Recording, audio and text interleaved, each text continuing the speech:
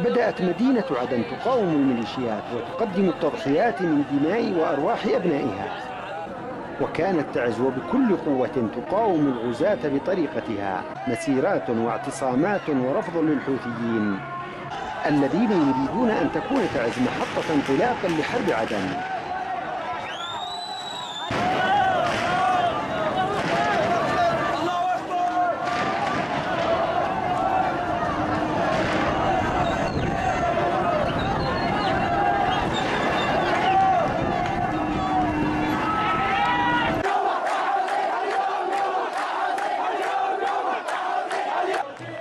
خلال أيام من المسيرات والاعتصامات قدمت تعز 14 شهيدا و42 جريحا وهم يهتفون لعدن ولحج والضالع وكانت الميليشيات قد كشرت عن أنيابها وأهدافها الحقيقية.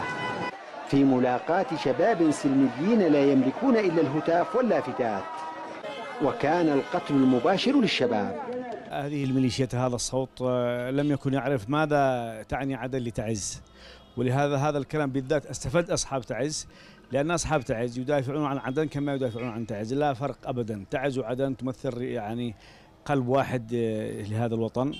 البطين الأيمن والبطين الأيسر آه، بكل ما تعني هذه الكلمة.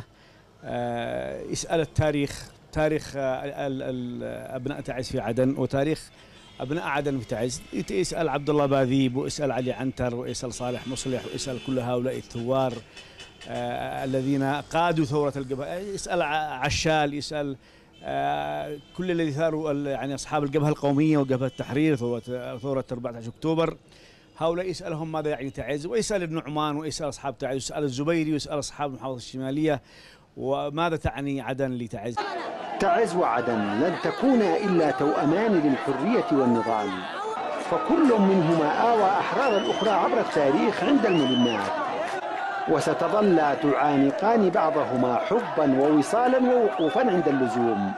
وإن حاول البعض الإساءة لهذه العلاقة الوطنية.